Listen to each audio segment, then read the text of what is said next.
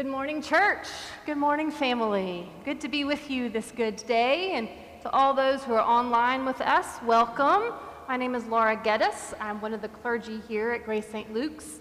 And we are a community that's striving to be one of hope, of belonging, of healing. And we are honored that you are trusting us and joining us this good day.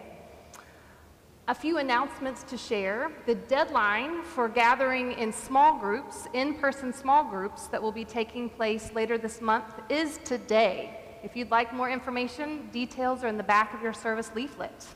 Also, the youth are meeting today outside to create joy packets and bags. So contact AMSI if you want to be a part of that. That's this afternoon. And the children continue with their wonderful prayer kits and prayer tables and a movable altar.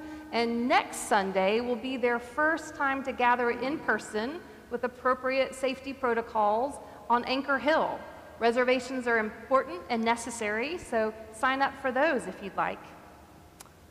And finally, um, I recognize and name, if you haven't seen it already, our wonderful um, stewardship campaign and the information that has gone out.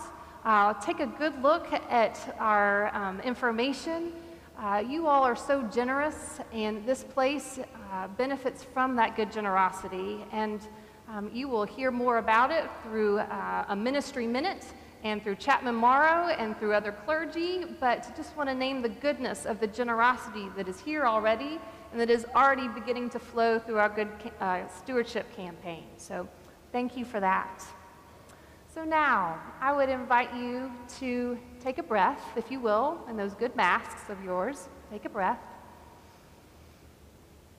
And let it out nice and easy. One more time. Breathe in. Notice that pause at the top and breathe out. Welcome to Grace St. Luke's.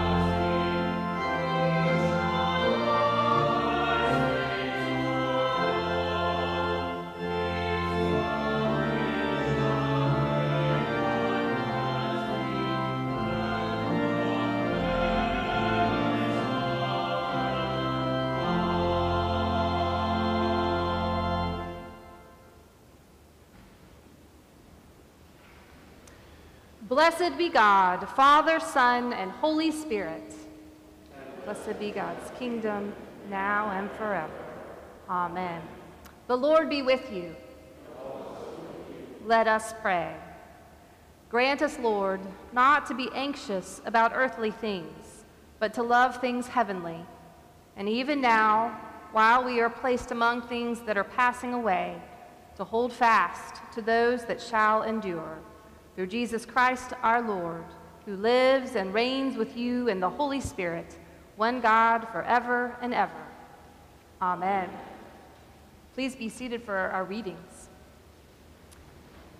And let us read together responsively by whole verse a portion of Psalm 145.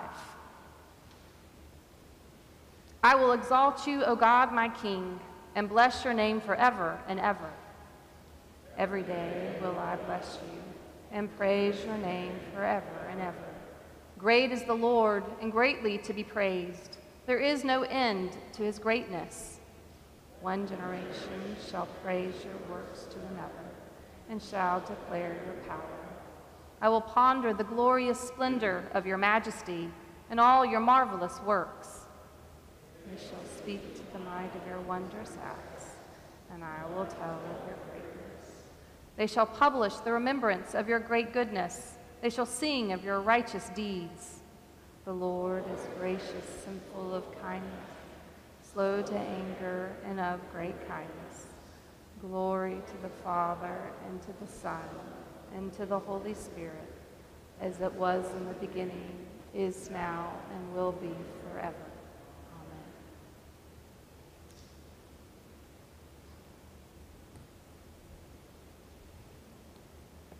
A reading from the Gospel according to Matthew. Jesus said, The kingdom of heaven is like a landowner who went out early in the morning to hire laborers for his vineyard. After agreeing with the laborers for the usual daily wage, he sent them into his vineyard. When he went out about nine o'clock, he saw others standing idle in the marketplace. And he said to them, You also go out into the vineyard, and I will pay you whatever is right. So they went. When he went out again at about noon and about three o'clock, he did the same. And about five o'clock, he went out and found others standing around and he said to them, Why are you standing here idle all day? They said to him, Because no one has hired us. He said to them, You also go into the vineyard. When evening came, the owner of the vineyard said to his manager, Call the laborers and give each of them their pay, beginning with the last and then going to the first. When those hired about five o'clock came, each of them received the usual daily wage.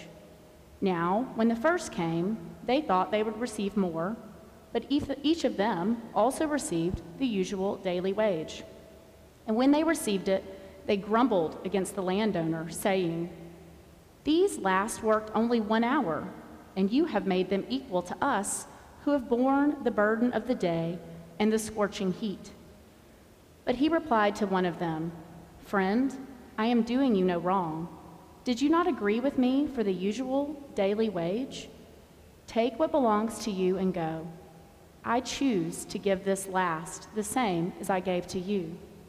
And I am, am I not allowed to do what I choose with what belongs to me? Or are you envious because I am generous?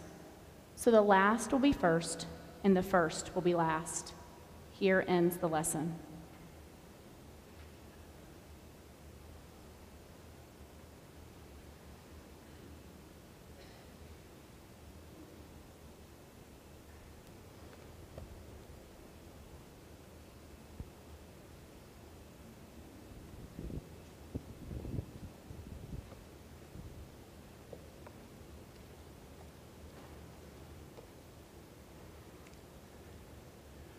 This morning, as we explore today's gospel lesson, maybe you, like I, are thinking that Jesus, as the saying goes, done quit preaching and gone to meddling. You ever heard that before? Our Lord said to one of the first of the clearly confused laborers, Friend, take what belongs to you and go. I choose to give to this last the same as I give to you. Am I not allowed to do what I choose with what belongs to me? Or are you envious because I am generous? So the last will be first and the first will be last. That's disturbing if we're being honest, because most of us enjoy being upfront. Even if we try and be humble and quiet about it, we like to just sort of ease in in the front, even at Trader Joe's, like I did the other day. Sorry. From this story, it is evident that God is calling us to think about how we do what we do. It is evident that the gospel calls us to be people who are generous and about justice and about equity. Our lesson from Matthew, the 20th chapter, beginning at the first verse, follows pivotal events for those on the journey with Jesus, either as main characters in the story, bystanders, or even first time readers. Immediately before the passage in Matthew 19, the disciples have given up everything they have to follow Jesus. So Jesus knows what can take place. Jesus is ready to see what's next in them. And our Lord comforts them with the fact that they will receive eternal life, which the rich young man found too costly, which was the story. God in Christ Jesus tells them that their reward will include sharing authority. Who doesn't want some level of power, right, and authority in the new age? A new Israel will unfold by their faithful and fair leadership. They will be a part of change. They will be a part of a new future. Jesus also promises that all true followers will share in a rich inheritance. Prosperity will come from obedience to his commandments and his ways of living and being in the world. Life will be great. Things will be different and they will be the ones who make it better. But most important, and for our ears, and I would say our actions today, discipleship is twofold giving up much that is valuable in human terms, and then the other part is guaranteeing followers an indescribable reward. So a giving up and a receiving, a giving and a receiving.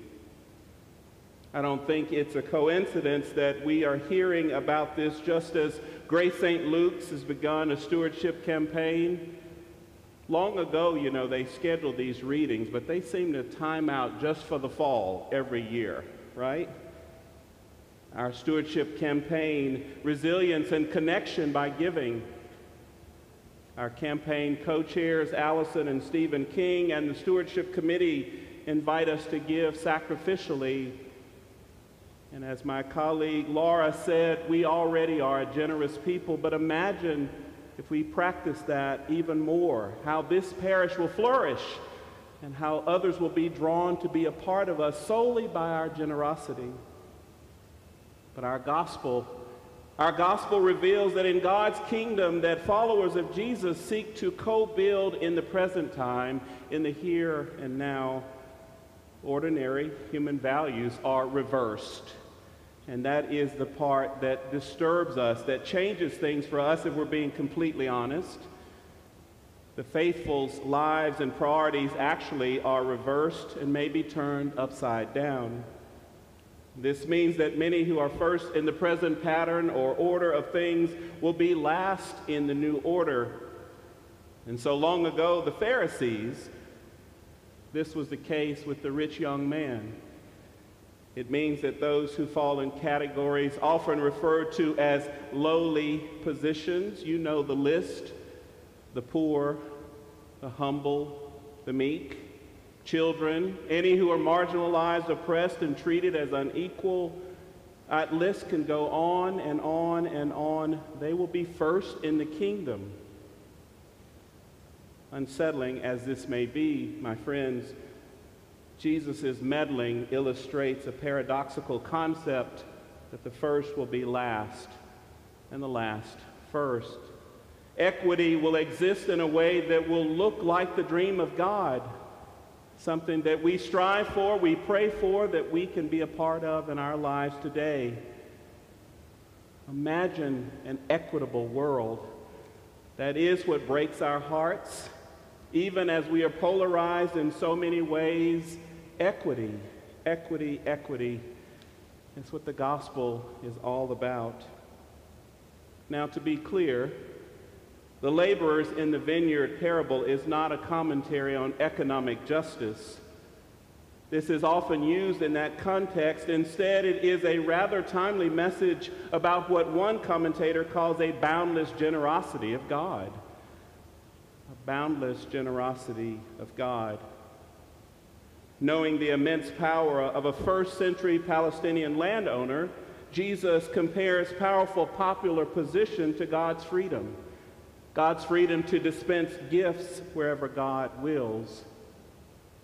That throws any of us. How can God be so equitable when we've worked so hard and have done so much and have been in certain positions? How can it be that those who have done absolutely nothing, for whatever reason, how can they be treated in the same way? Begrudging God's generosity is inappropriate because there is enough for all. But for whatever reason, I know I'm guilty of this, we operate culturally out of a place of scarcity versus abundance. And Jesus takes issue with that throughout all of Scripture.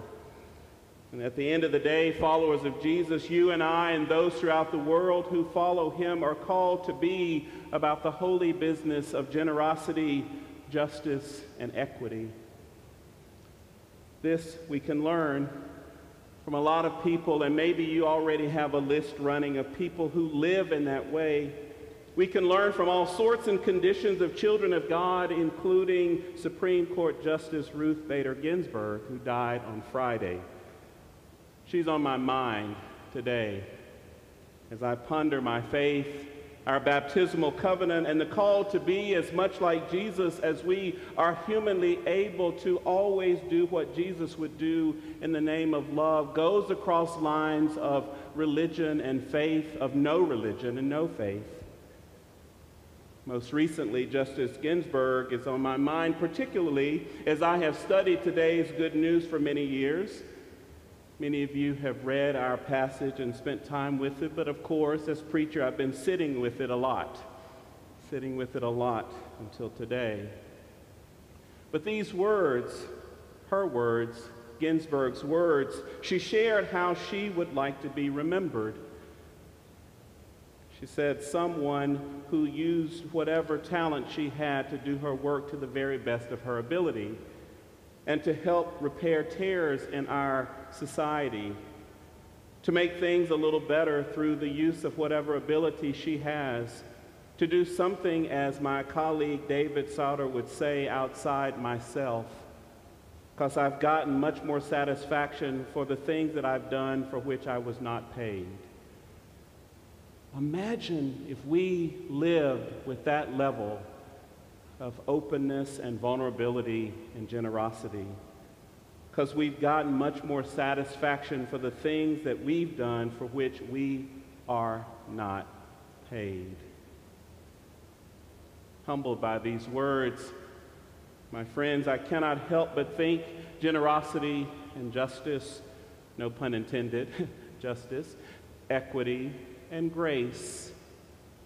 Furthermore, I would add that grace is what she practiced in her relationship with friends. Many know her story of her judicial adversary and yet her best friend. You think about Antonin Scalia and their relationship and how they were able to be in relationship. And at his funeral, she said this he was once asked how we could be friends given our disagreements on lots of things. She said, Justice Scalia answered, I attack ideas. I don't attack people. Some very good people have some very bad ideas. that has stuck with me because we, as the human family, are called to agree to disagree. That makes us human and yet God can do something new with us. And so clearly, they had a simple respect for and friendship with each other as an example that can guide our country to a more perfect union. And that gives me hope in the face of all that we are facing. Dear friends in Christ, imagine Imagine how different and better this world would be, this broken, polarized, unreconciled world would be if those who follow Jesus and any who believe in true love, in God's love, did all things with the spirit of generosity and of justice and of equity, and to that we add grace. In our Lord's meddling, we are being called to lean in to lean in and to give from abundance and to do what we are able to make life and this world for better, far better for others and ourselves than it is. That is hopeful because of the community of the church and examples of beacons of love and transformation such as this. May we be so encouraged. May we practice our faith boldly. Amen.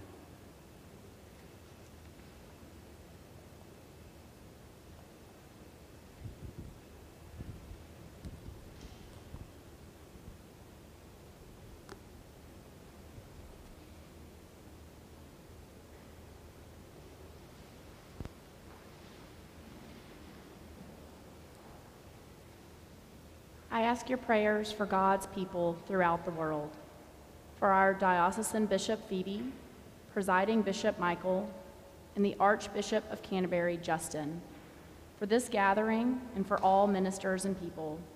Pray for the church. I ask your prayers for peace, for goodwill among nations, and for the well being of all people. Pray for justice and peace. I ask your prayers for the poor, the sick, the hungry, the oppressed, and those in prison. Pray for those in any need or trouble. I ask your prayers for all who seek God or a deeper knowledge of Him. Pray that they may find and be found by Him. I ask your prayers for the departed, especially Brian Deloyd Kellett and Larry Thomas. Pray for those who have died. I ask your prayers for the special needs and concerns of this congregation, including those reflect, reflected on the prayer list in the service leaflet. And I ask your thanksgivings for the birth of Jerry Walter Walt Adair. Praise God for those in every generation in whom Christ has been honored pray that we may have grace to glorify Christ in our own day. Loving God, we pray to you also for the forgiveness of our sins. Have mercy upon us, most merciful Father. In your compassion, forgive us our sins, known and unknown, things done and left undone. And so uphold us by your Spirit, that we may live and serve you life. Honor and glory of your name. Through Jesus Christ our Lord. Amen. Almighty God, have mercy on you. Forgive you all your sins through our Lord Jesus Christ. Strengthen you in all goodness, and by the power of the Holy Spirit, keep you in eternal life. Amen. Good people of God, may the peace of the Lord be always, always with you. Let us pass the peace. Peace. Peace, Sandra. Peace. Peace.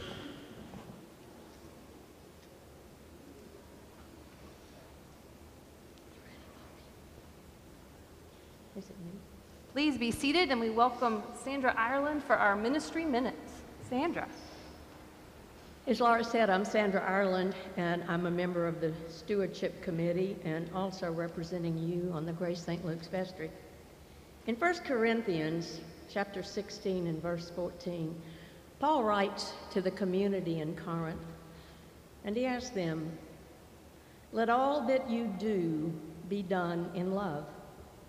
And I thought that was a fitting thought to apply to each of us as we discern our pledge for the next year to Grace St. Luke's. But before we can do, let us recognize what it is that we love about Grace St. Luke's. Is it this gorgeous sacred space we worship in? Is it the beautiful music from our organs and our angelic choirs under the direction of Dr. Scott and Debbie Smith? Is it the care and concern and love that we get from Father Ali and Reverend Laura in times of deep loss or depression, illness? Or is it the joy that we get in times of celebrations such as baptisms and weddings? Or is it all of you, here and online, that relish the opportunity to be in community with each other, to feel at home here, to feel loved, to feel spiritually enriched? Is it all these things that you love and many, many more? So if it is, I ask of you, and I paraphrase Paul, as you decide to make your pledge this year for Grace St. Luke's, do it in love. But more importantly, do it with love. The love that you have for this wonderful church. Thank you.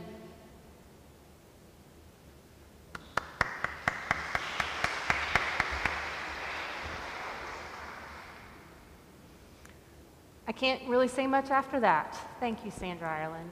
Just to recognize that your gifts do go to glorify the goodness of God here, and there are so many good ways to make that gift known via mail, via text, you name it. And all of that information is in your service leaflet. Walk in love as Christ loved us and gave himself for us an offering and sacrifice to God.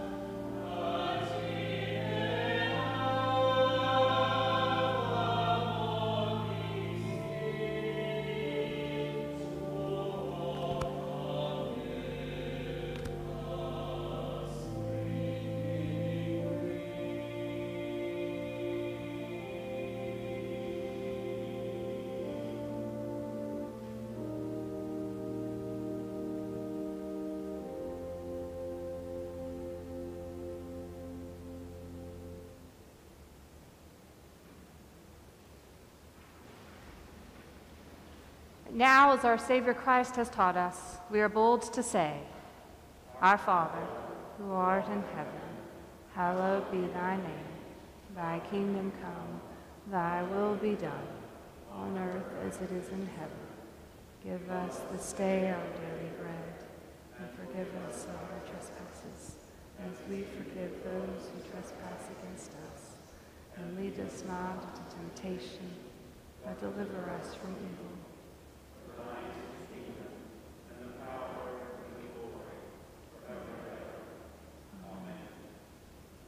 And together, may we say our spiritual communion prayer. In union, blessed Jesus, with the faithful gathered at every altar of your church, where your blessed body and blood are offered this day, and remembering particularly Grace St. Luke's and those worshiping there,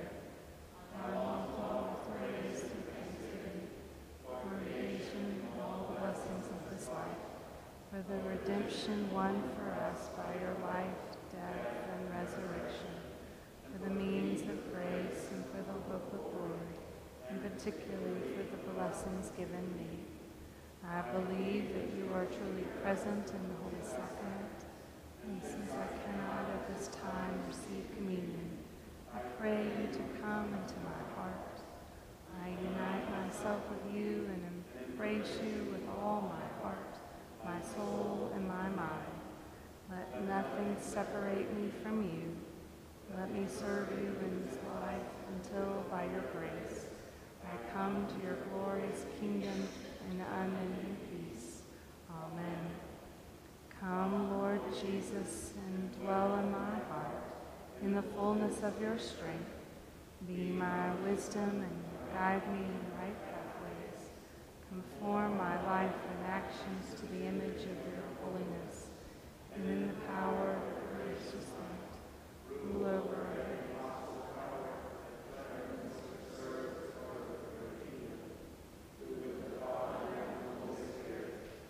lives and reigns, one God, in glory everlasting.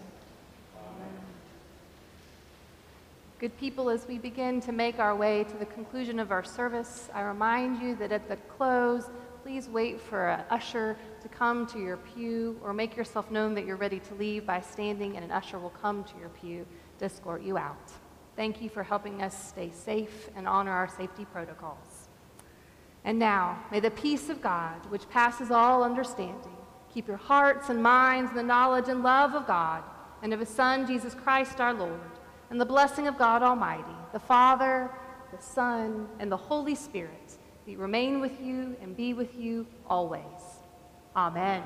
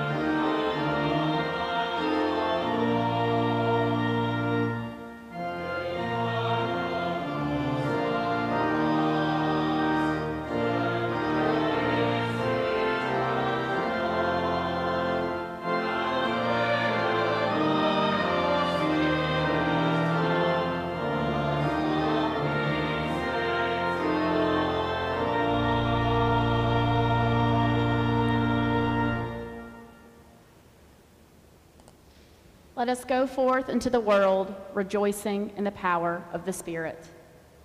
Thanks be to God.